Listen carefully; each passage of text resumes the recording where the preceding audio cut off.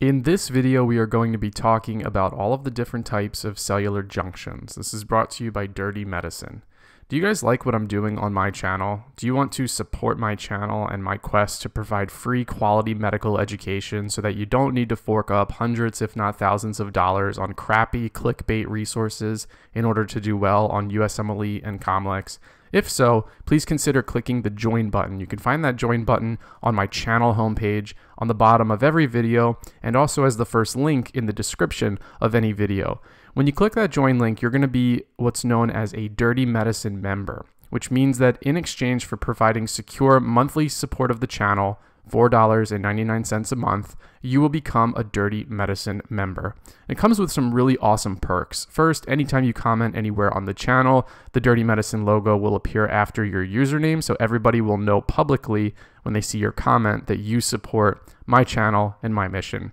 Additionally, you'll gain access to the locked community tab on my channel. So right now I am polling, meaning I'm asking Dirty Medicine members, hey, what do you want the topic of the next video to be? And I'm taking all of their feedback into consideration. But in the future, these perks might extend into some other cool things like unique access to members only videos or downloads, etc.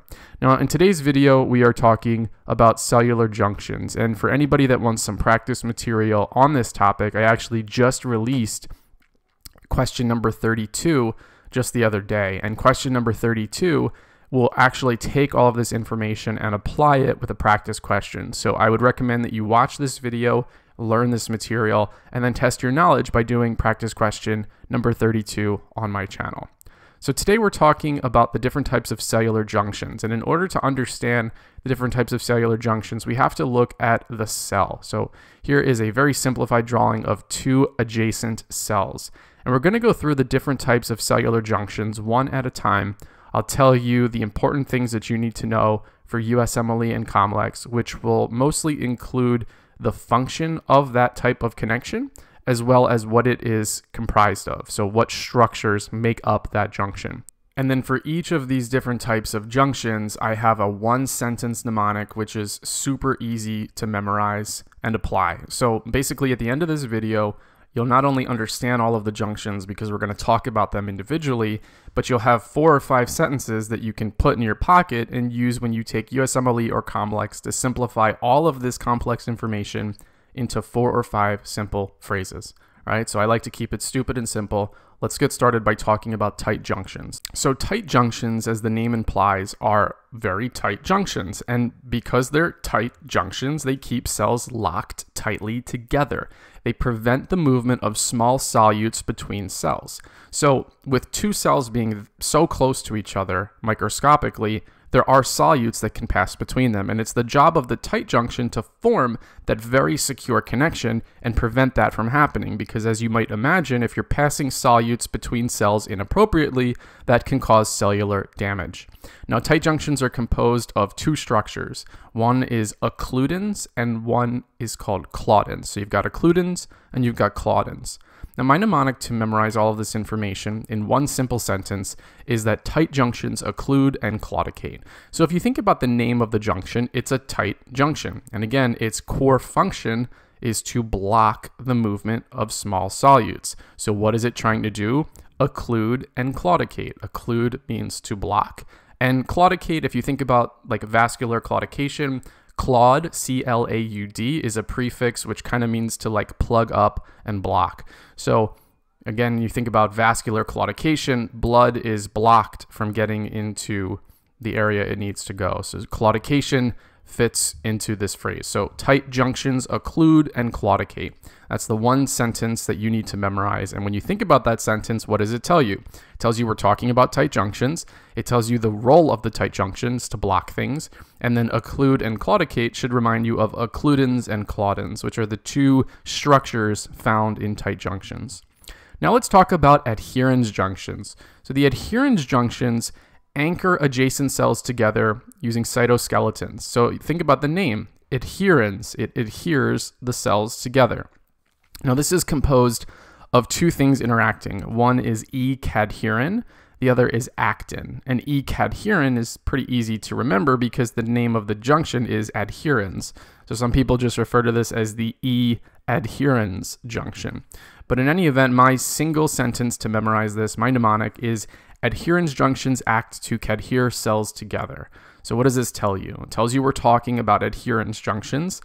They act to cadhere cells together. Act for actin and cadhere for E-cadherin.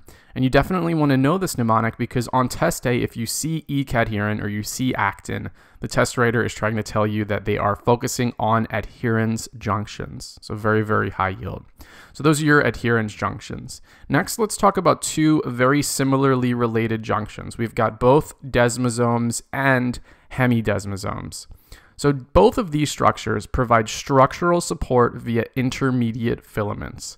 Now, desmosomes specifically are composed mostly of interactions between cytokeratin and desmoplakin, whereas the hemidesmosomes connect keratin to the basement membrane. Now, clinically, these are really relevant when it comes to differentiating two very high yield dermatologic conditions.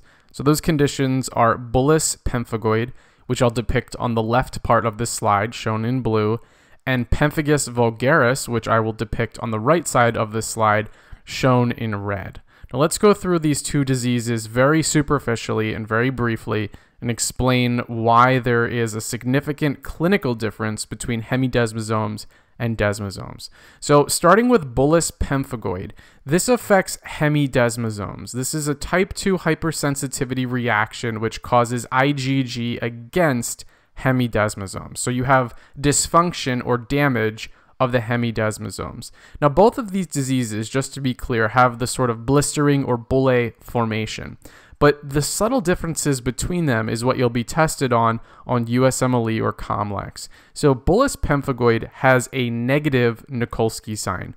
What's Nikolsky sign, you ask? If somebody has either bullous pemphigoid or pemphigus vulgaris, and you're trying to figure out which one they have because they have those blisters or those bullae, you run your fingers over the skin, and with tensile force, if the skin sloughs off, that would be a positive Nikolsky sign.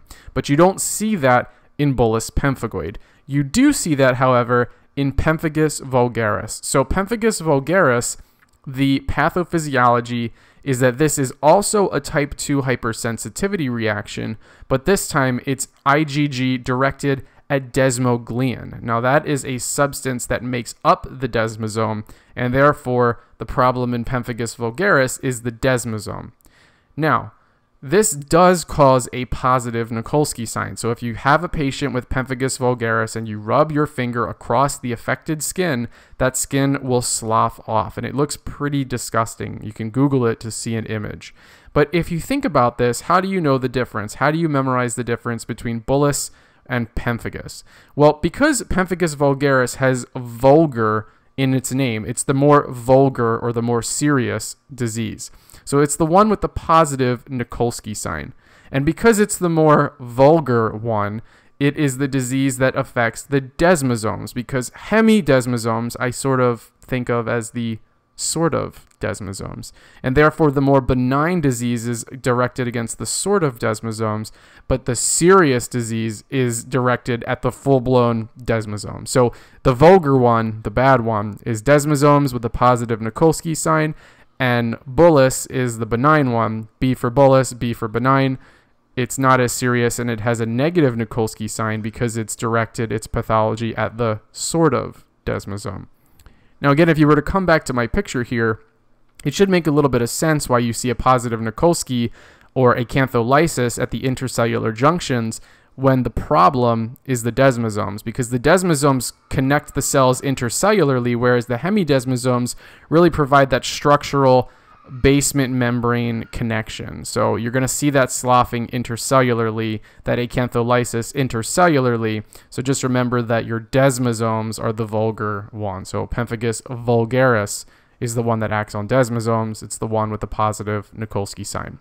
Now, the mnemonic that you see at the top of this slide is that I need some intermediate support, which tells you that for both your desmosomes and your hemidesmosomes, you need some for desmosome or hemidesmosome.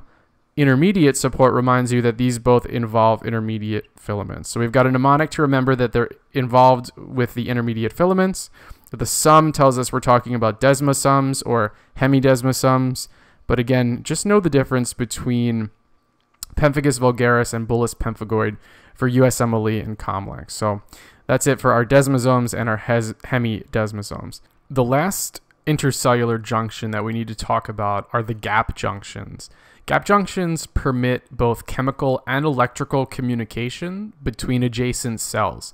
And these are composed of structures called connexons, C O N N E X O N. Now, perhaps obviously my mnemonic here is a chemical connexon between the gap. So you've got this gap between cells, and there is a chemical connexon or a chemical connection, if you will, between the gap. And what does this tell us? Well, this tells us that we're talking about gap junctions, since the mnemonic ends with the word gap. It tells us that it permits chemical communication and by extension electrical communication because of chemical and connection or connexon, if you will, just reminds us of the structure that composes the gap junctions. So with that said, that this is really all you need to know when it comes to intercellular or intracellular communication and junctions. And for your studying pleasure, I'm going to fill out this table for you. So you see the five type of junctions and we'll fill in the role of these junctions, the core components, and then my one sentence mnemonic so if you're looking, I'm, and by the way, I'm not going to go through and read this table to you, but the takeaway here is that if your brain is stuck and you feel like you only can fit so much more information in there for USMLE or Comlex, and you want to take your shot on these questions with just my single sentence mnemonics, it's really only five sentences that you need to know. Tight junctions occlude and claudicate, adherens junctions act to cadhere cells together, I need some intermediate support for both desmosomes and hemidesmosomes and a chemical connection between the gap. So if you know those five sentences, you're already in pretty good shape to tackle most of the questions that you'll get about this. But just remember the very, very high yield part of today's video is the difference between pemphigus vulgaris and bullous pemphigoid, understanding which one affects the desmosome, which one affects the hemidesmosome, and whether or not there is a positive Nikolsky sign.